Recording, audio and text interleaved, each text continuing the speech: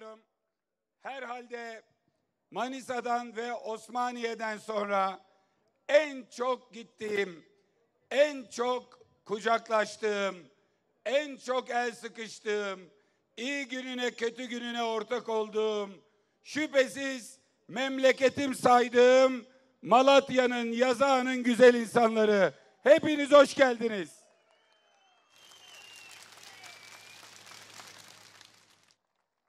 Öyle bir günde buradayız ki bütün duygularımızın en üst düzeyde olduğu ve aslında bütün Türkiye'nin gözünün önünde belki de Türkiye siyasi tarihinin en büyük atılımlarından birinin yaşandığı geçmişte sadece 2019'da Cumhuriyet Halk Partisi, İyi Parti, Demokrat Parti, Saadet Partisi koskoca bir ittifakla yüzde 23 oy aldığımız bir seçimden hemen sonraki seçimde bir başımıza ittifak yapalım dediğimizde hayır biz tek başımıza gireceğiz dendiğinde buna saygı duyarak en sert eleştirilere en tahammüllü tavrımızla bir başımıza ama hangi partide olduğumuzu bilerek Malatya'nın evladı Türkiye Cumhuriyeti'nin ikinci Cumhurbaşkanı İsmet Paşa'nın ve Türkiye Cumhuriyeti'nin kurucusu Gazi Mustafa Kemal Atatürk'ün partisinde olduğumuzu bilerek dedik ki burası baba evidir. Baba evi dediğin herkes baba evine doğar. Yazağının AK Partilisi de MHP'lisi de hangi görüşten olursa olsun dedesinin babasının partisi bellidir. Ama kimi baba evinden ayrılır. Kimi Irak'ta oturur, kimi yakında oturur. Kimi büyüğünü arar, kimi küçüğüne razı olur. Ama herkes bilir ki baba evinin çayı demlidir, çorbası kaynamaktadır, bacası tütmektedir. İşte biz dedik ki bu baba evi Türkiye ittifakıdır. Bu baba evinin tapusu hiçbirimizde değildir. Bir kişiye kayıtlıdır. Onun da adı Gazi Mustafa Kemal Atatürk'tür. İşte o baba evine çağırdık. Koşup geldiler. Dedik ki farklılıkları konuşmayacağız. Birbirimizle farklılıklarımız üzerinden atışmayacağız. Kimseyle kavga etmeyeceğiz. Kimseye hakaret etmeyeceğiz. Sadece sizin sorunlarınızı konuşacağız ve sadece ve sadece halk için, millet için siyaset yapacağız dedik. Millet koştu geldi, baba evini doldurdu. 47 yıl sonra Atatürk'ün partisini birinci parti yaptı. Tabi burada kazanılan belediyeler kadar kazanılmayan belediyelere de bakmak lazım. Biz Malatya'da 2019'da hep beraber yüzde 23 alırken bu seçimde İsmet Paşa'nın memleketinde Yazağı'nın evladı, Malatya'nın evladı benim hem gerçek abim hem siyaseten abim, büyüğüm, ustam Veli Baba'yla yüzde otuz sekiz oy aldık Malatya'da.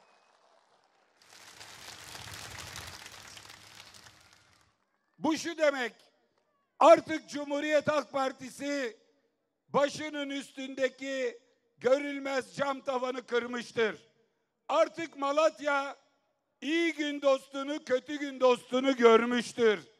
Artık samimiyet, artık içtenlik, artık siyaseti yandaşları için değil, hangi görüşten olursa olsun bütün vatandaşları için yapanlar milletin gönlünde hak ettikleri yere almıştır.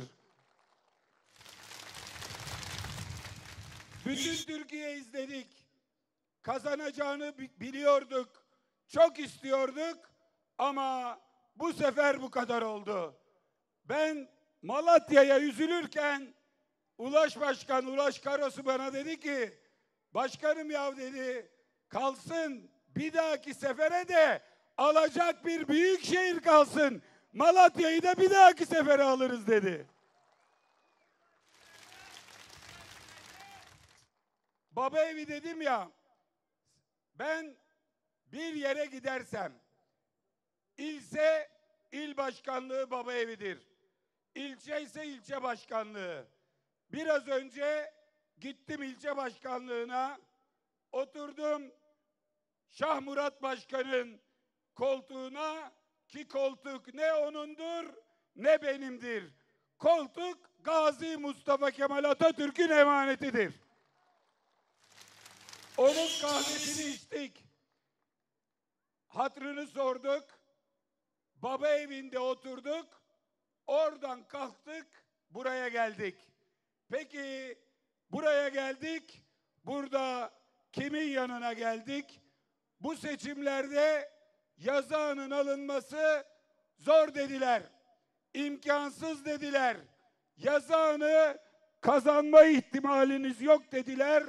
Ama bizim bu Yazağın Belediyesi'ndeki adayımızı bir Veli abiden dinledik. Dedi ki öyle bir aday var ki yazağını alırsa o alır. Cesaretse cesaret var. Çalışkanlıksa çalışkanlık var. Örgüte saygıysa örgüte saygı var. Ve hepimiz güveniyoruz. Abdülvahap Göçer bu işi halleder dediler.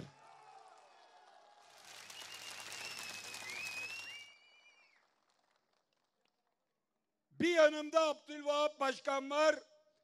Bir yanımda Şah Murat Başkanım var. Sizin hepinizin gözü önünde. Şah Murat Başkan'a Abdülvahap Başkanı.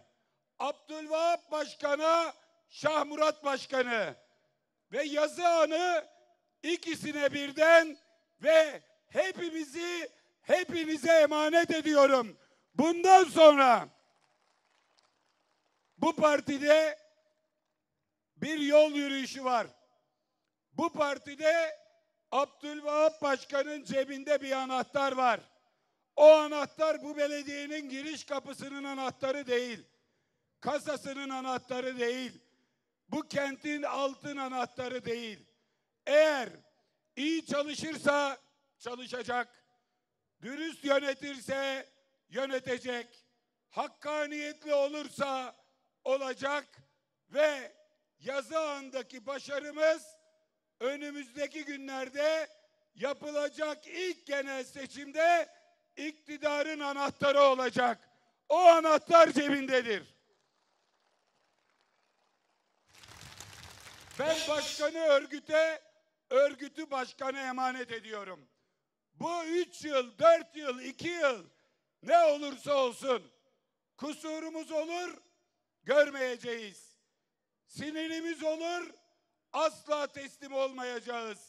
El ele, omuz omuza hep beraber çalışıp biz Atatürk'ün partisini ilk seçimlerde iktidar yapacağız. Bu görüntü olduktan sonra yazağın korkmasın. Yazağın korkmasın. El ele, omuz omuza bu işi yapacaklar, başaracaklar, partimizi iktidar yapacaklar. Onlara güveniyorum, sizlere güveniyorum. Tabii, tabii sadece Yazıhan'da değil, Malatya'da, Hekiman'da da başardık. Arapgir'de de başardık. Doğanşehir'de de başardık. Arguvan'da da başardık. Emin olun buralarda da arkadaşlarımızın gayretiyle, çalışkanlıklarıyla, kentlerine duydukları vefayla, saygıyla, sorumlulukla bu başarıyı hep birlikte genele taşıyacağız.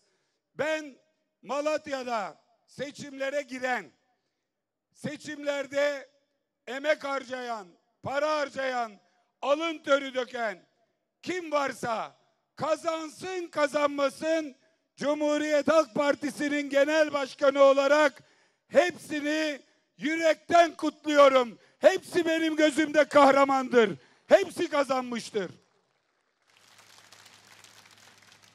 Tabii sadece Malatya deyince burası İsmet Paşa'nın memleketi değil. Çok önemli siyasetçiler oldu. Hem İsmet Paşa gibi partimizin kurucularından kahraman, muzaffer bir komutan, hem Cumhurbaşkanı ama sadece İsmet Paşa değil, Turgut Özal'ı da anmak, onun da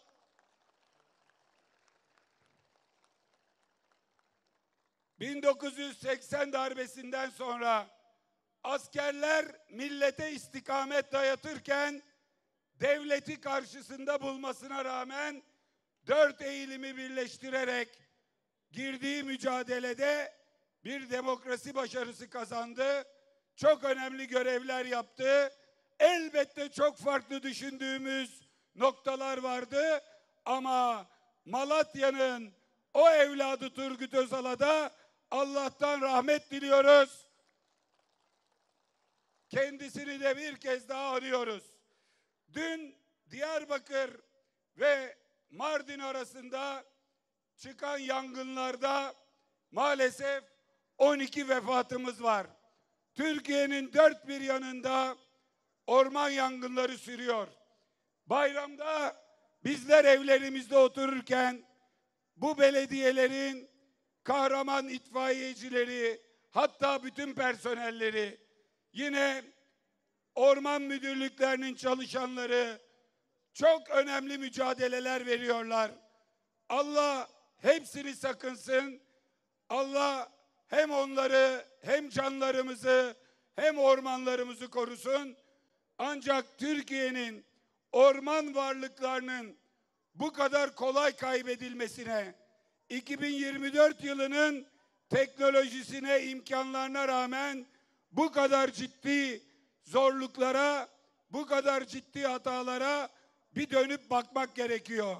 Bu konuda orman yangınları konusunda bir kez daha Cumhuriyet Halk Partisi olarak bütün yapıcı, yol gösterici önerilerimizle birlikte bu konuyu önümüzdeki hafta mecliste gündeme getirip bu konuda bir meclis komisyonu kurulmasını sağlayıp bu konuda akademisyenleriyle, yerel yöneticileriyle, afet yönetiminde yetkin isimlerle dünyanın dört bir tarafına bakarak bu memleketin ormanlarının korunması için bu meseleye artık Türkiye Millet Meclisi'nin el koyması gerekmektedir.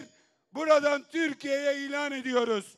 Bu orman yangınlarına bu milletin vekilleri ya dur diyecek ya dur diyecek. Bunun için çalışacağız. Tabii yazağında geldim. Başkanın kendi bahçesinden kayasıları aldık. Şüphesiz kim ne derse desin kayası denince Malatya, kayasının başkenti denince Malatya akla geliyor. Ama her alanda olduğu gibi kayası üreticisine de bir dokunuyorsun, bin ağaç diyorsun. Bir kere en berbat durum şu. Kuru kayası ki yazağının kayasısı hem yaş hem kurutmaya müsait. Kuru kayası burada üreticide 140 lira. Pazarda 300 lira, markette 370 lira. Emeği sen çekiyorsun. Alın terini sen akıtıyorsun. Çoluk çocuk eşinle sen çalışıyorsun. Gün oluyor borç alıyorsun. Kredi alıyorsun. Her şeyine sen katlanıyorsun ama sen 140 lira alıyorsun. Bütün masrafları içinde alıp satan 370 liraya satıyor. Şimdi geçen sene sordum kayası kaç liraydı? Burada bahçede kuru kayası 100 lira. Bir senede mazot ikiye katladı. ilaç ikiye katladı. Gübre ikiye katladı. işçilik ikiye katladı. Fiyat sadece yüzde 40 artmış. Peki geçen sene markette kayası kaç para? 175 lira. Bu sene 370 lira. Şimdi marketteki fiyat ikiye katlıyor, üstüne de gidiyor ama buradaki fiyat yüzde 40. İşte haksızlık burada, adaletsizlik burada. Ben şunu söylüyorum. Günü geldi Tayyip Bey'in memleketinde çay mitingi yaptık. Günü geldi Trakya'da buğday mitingi yaptık. Herkesin derdi şu ki maliyetini kurtarmayacak fiyatlara çiftçiye çalış diyorlar. Adeta sen köle gibi çalış, parayı başkaları kazansın diyorlar. Üzümde de böyle, fındıkta da böyle, çayda da böyle, kayasıda da böyle. Buradan sesleniyorum. Elbette bu işin en baş savunucusu Veli Baba var. Malatya'nın güçlü bir örgütü var. Sevgili Barış Başkan var. Ama bize de düşerse bu kayasının hakkını aramak için, kayasıcının hakkını aramak için, Malatya'nın hakkını aramak için ne gerekiyorsa onu yapacağız. Hep birlikte mücadele edeceğiz.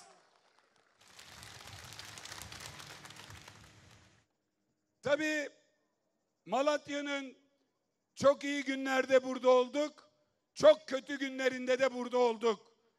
6 Şubat depreminde ilk gün ertesi sabah daha doğrusu sabah 5'te Barış Başkanımın telefonuyla öğrendim. Veli abiye ulaşamıyorum dedi. Deprem oldu dedi. Yıkıldık. Bitti Malatya dedi. İstanbul'da İsmail Küçükkaya'nın programına çıkacaktım. Arabaya bindim.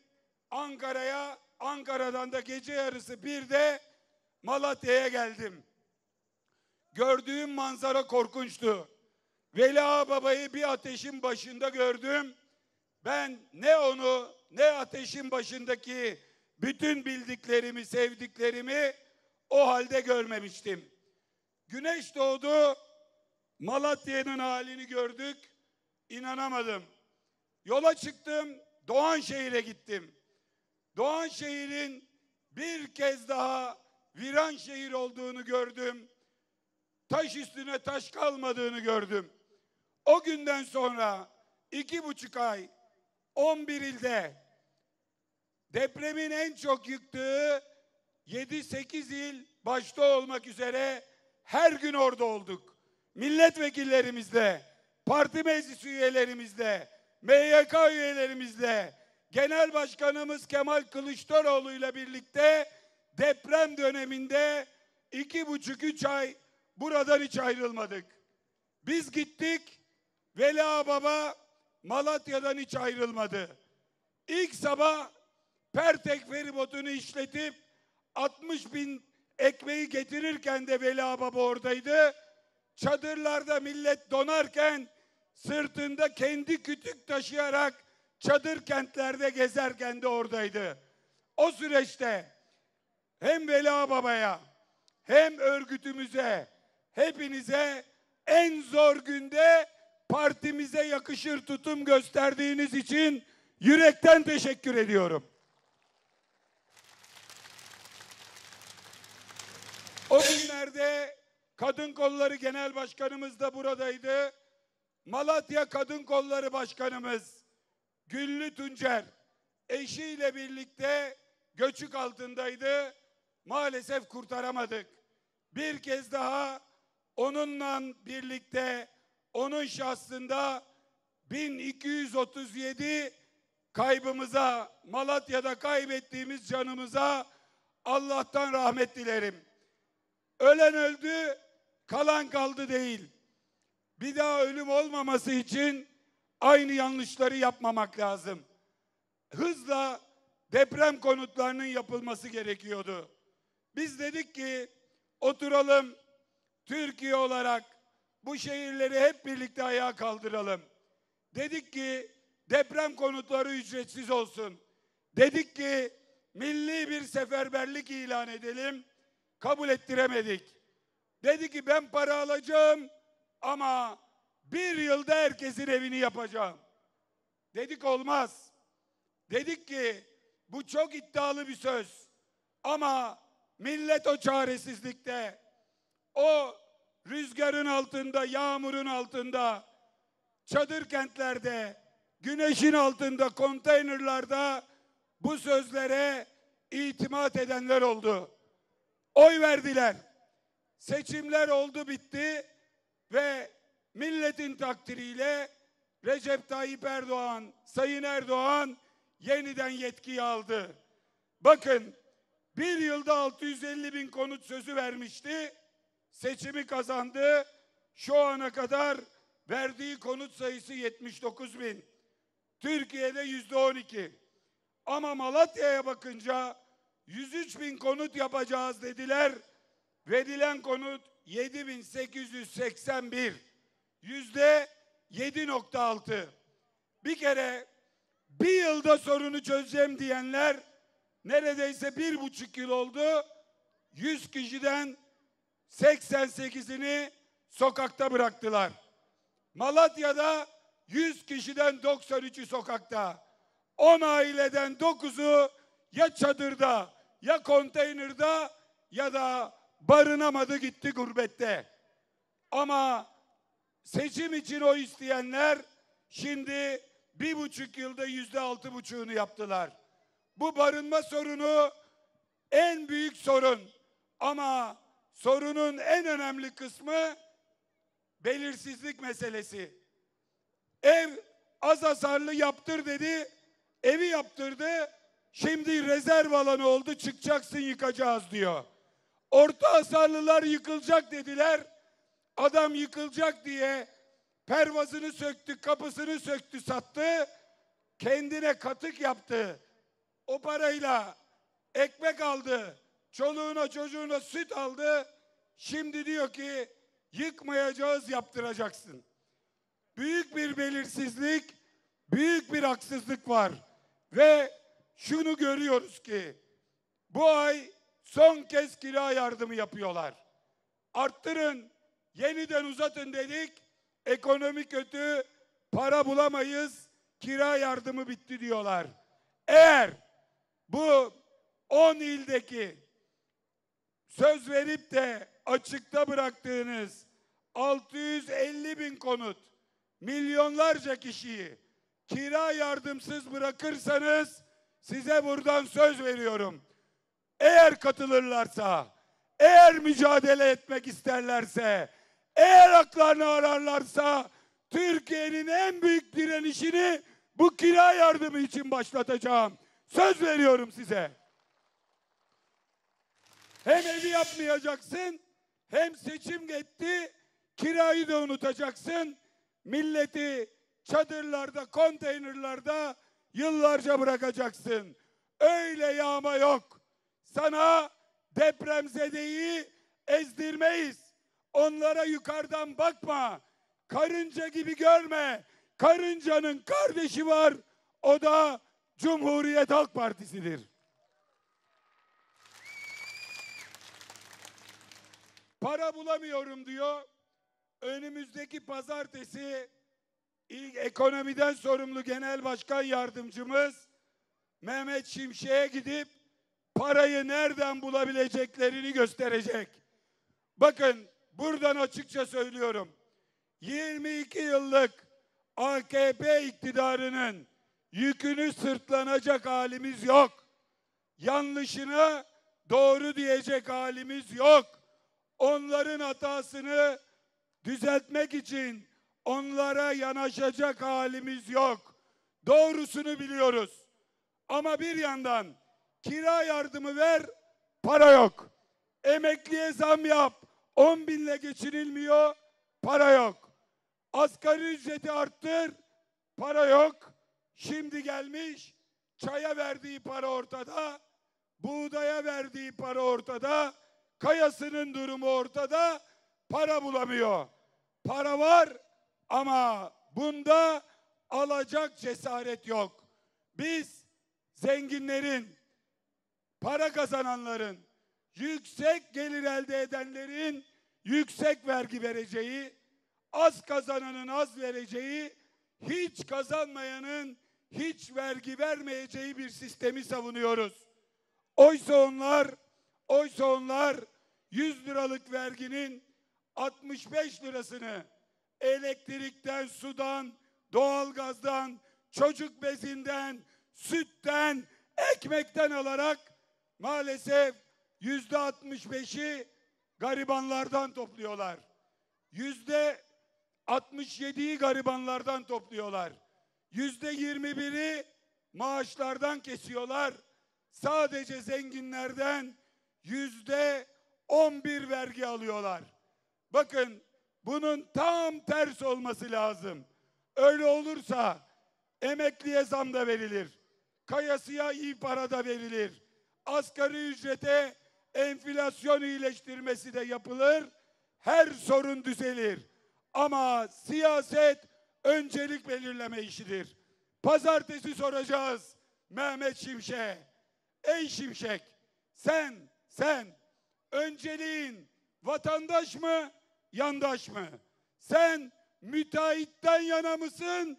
Yazıhanlı kayası üreticisinden yana mısın?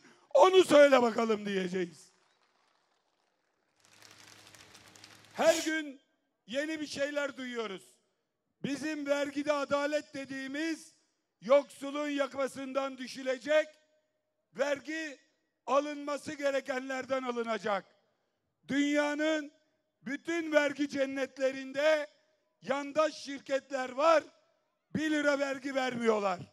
Kanunumuz diyor ki, Cumhurbaşkanı listeyi yayınladığı gün yüzde otuz vergi alacağız.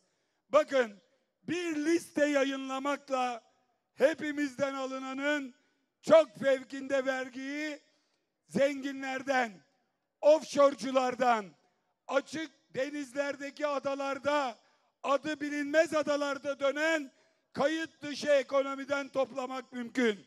Onun için önerilerimizi söyleyeceğiz. Yaparlarsa ne hala, yapmazlarsa siz onları indireceksiniz, bizi getireceksiniz, biz halledeceğiz, hepinizin yüzünü güldüreceğiz.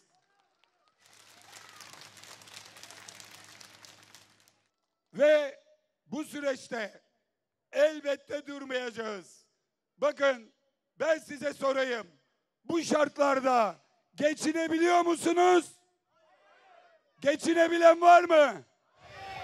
Siyaset sokağın sesini dinleme işidir.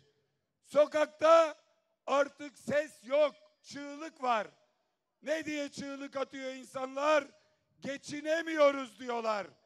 Madem ki geçinemiyorsunuz, madem ki sonuç yok, o zaman asgari ücrete zam yapılması gereken günden bir gün önce Türkiye'nin en büyük emek kentinde Kocaeli'de, Gebze'de işçilerle, emeklilerle, çalışanlarıyla, emekli olmuşlarıyla, bütün emekçilerle, esnaflarla, çiftçilerle birlikte bir büyük geçinemiyoruz mitingi yapacağız. Türkiye'de emeği sömrülen, yıllarca çalışmasının sonundaki emekli maaşı kuşa dönen, ürünü para etmeyen, geçinemeyen herkesi 30 Haziran günü Kocaeli'ndeki geçinemiyoruz mitingine davet ediyorum.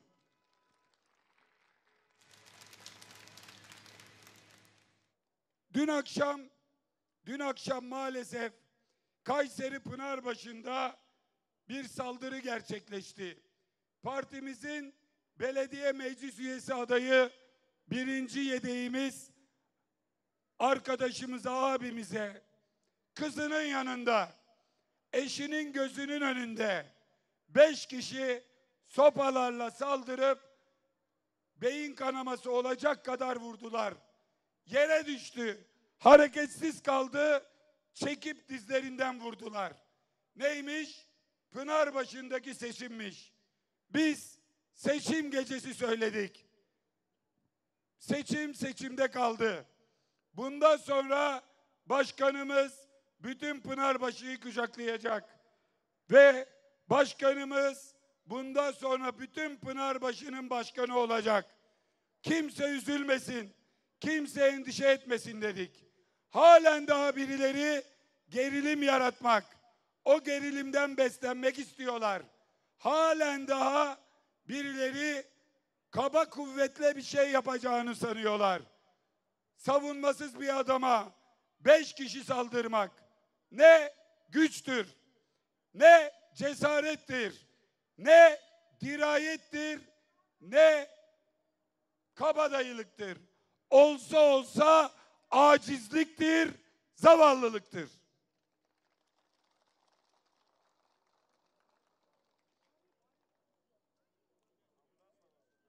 Bir ambulans varsa yakında gelsin. Bir şey yok gerçi de. Ambulans yakında var hemen geliyor. Şöyle gölgeye doğru alsanıza gölgeye doğru.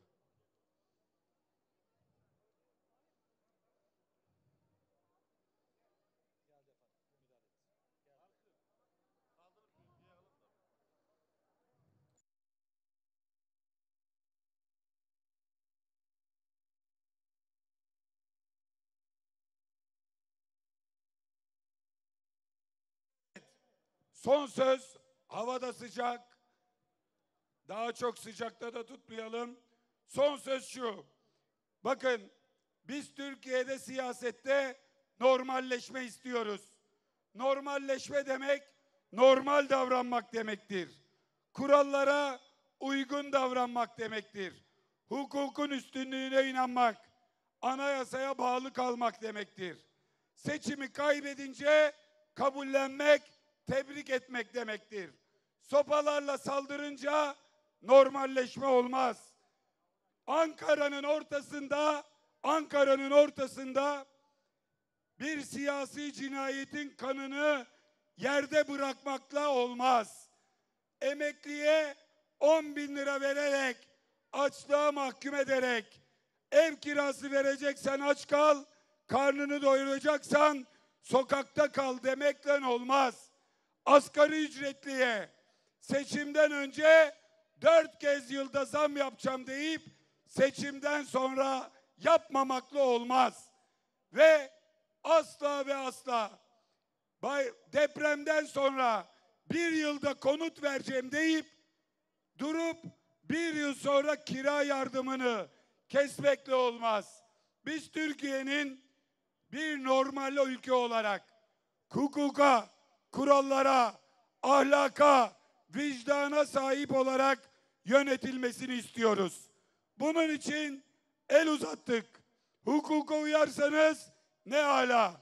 Sopaya sarılanla normalleşme olmaz. Kanuna uyarsanız ne ala. Anayasayı çiğneyenle normalleşme olmaz.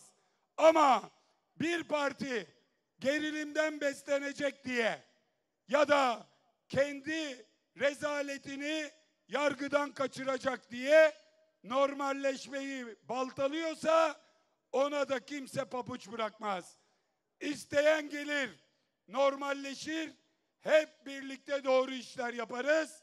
Ama hukuktan sapanın, vicdandan sapanın, ahlaktan sapanın olduğu yerde biz olmayız. Ama biz neredeyiz? Milletle beraberiz. 50 yıl sonra birinci parti olmuşuz. 3 yıldır, 3 aydır tüm anketlerde birinci partiyiz. Normalleşmeyi herkes CHP'den biliyor. Halkın çok büyük bir kısmı destekliyor. Ya gelirsiniz, kurala, kanuna, hukuka uyarsınız. Emekliye, asgari ücretliye, çiftçiye sahip çıkarsınız.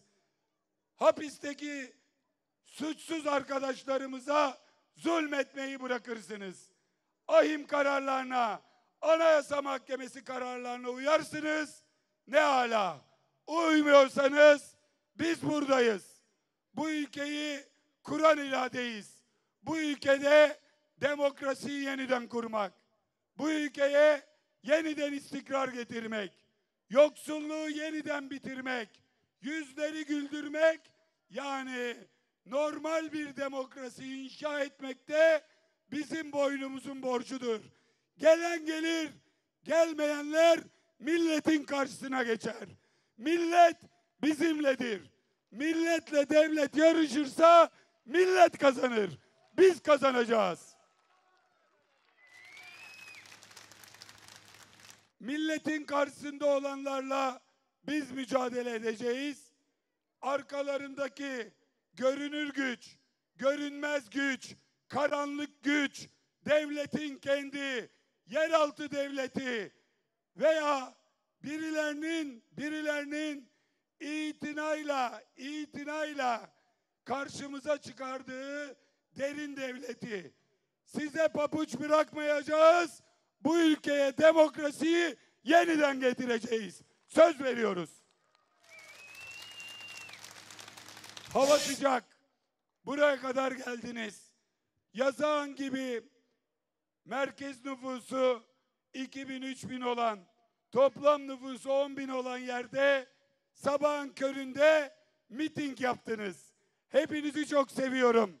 Hepinizi ayrı ayrı kucaklıyorum. Memleketim yazağını belediye başkanımıza, belediye başkanımızı, ilçe örgütümüze hepinizi Allah'a emanet ediyorum.